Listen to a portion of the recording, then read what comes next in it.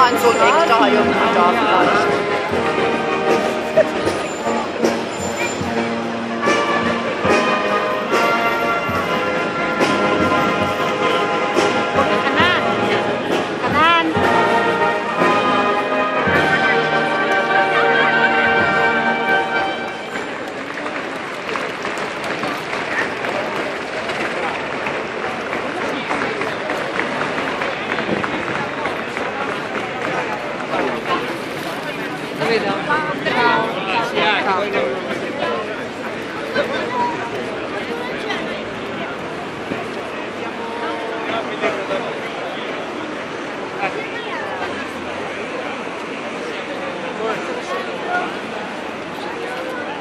Bien, la manina, la manina.